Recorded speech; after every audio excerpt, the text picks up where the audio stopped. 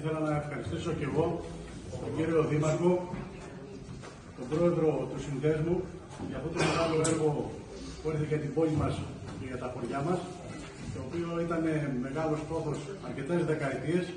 Τελικά καταφέραμε, καταφέραμε και ο, και ο Δήμαρχος και ο κύριος Αβριλιώνης από την πρώτη στιγμή το είχαν βάλει σαν στόχο και το είχαν κάνει υπόσχεση ένα πολύ δύσκολο έργο. Είναι πολύ δύσκολο έργο γιατί δεκαετίες προσπαθούσαν όλοι να το λύσουν. Είναι πολύ σημαντικό γιατί θα λαφτεί όπως είπαμε ο αμύαντος. Καταρχάς θα είναι πολύ καλό για την υγεία, αλλά και δεν θα λείψει και το νερό από την πόλη μας.